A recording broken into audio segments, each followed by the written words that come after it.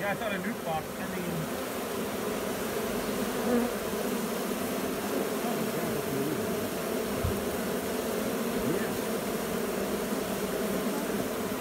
I think that'll work.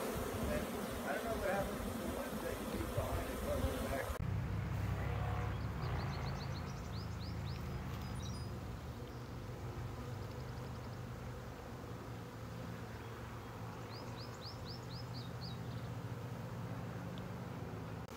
Should we close the lid so they know to like, I don't know.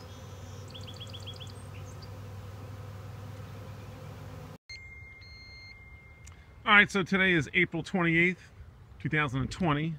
There's our green hive we've had for uh, a few years. It's doing strong, it's doing good. Girls are bringing in lots of pollen and nectar, all right? Here's the, uh, the long hive I built a couple months ago, all right? Nothing in there yet, nothing in there yet. Here's the long hive I built last year, and uh, I don't know if I told everyone, but the uh, the colony over the winter did not survive. I don't know. I think they starved, even though there's plenty of food in there. Hmm.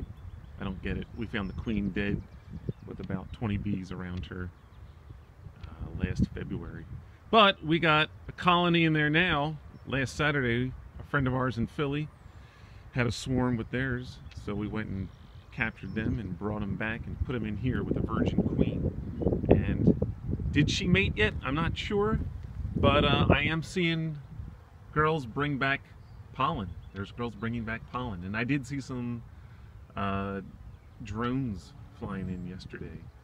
So I don't know, maybe she mated. But here it is, second year with this long hive and a, a new colony, and I guess they're doing all right. Uh, we have a, an update over on our uh, Instagram. Uh, yeah, I'll post that link right on. That's all for now.